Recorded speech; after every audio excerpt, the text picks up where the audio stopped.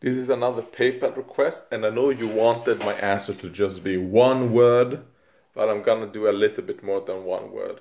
The question was, uh, what is my opinion of the Greta Thunberg or Greta Thunberg? Um, her, fuck, was it UN? Yes, I think it was UN speech. Um, it says there in your request EU, but it was the UN, I think. Now, what do I think? Just super quick. I think she's a puppet to the Chinese government. There we go. That is what I think. I think she's a Chinese pawn